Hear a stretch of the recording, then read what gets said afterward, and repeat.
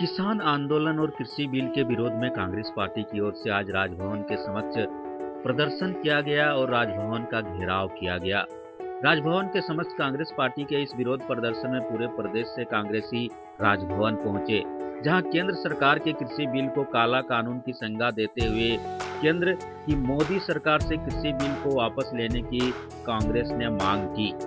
वहीं इस बिल के खिलाफ किसानों के आंदोलन पर उतरने को विवश होने के लिए मोदी सरकार को कांग्रेस ने जिम्मेदार ठहराया। लंबे समय बाद कांग्रेस की ओर से आहूत इस विरोध प्रदर्शन में कांग्रेसी और कांग्रेस नेता बड़ी संख्या में पूरे प्रदेश से राजभवन पहुँचे हुए थे और अपनी एकजुटता इन्होंने इस कार्यक्रम के दौरान दिखाई। इस मौके पर राजभवन पहुँचे कांग्रेस के विधायकों और नेताओं ने खूब दहाड़ लगाई। कांग्रेस के इस प्रदर्शन को देखते हुए हमारे प्रबंध संपादक हिमांशु की राजभवन से सीधी रिपोर्ट।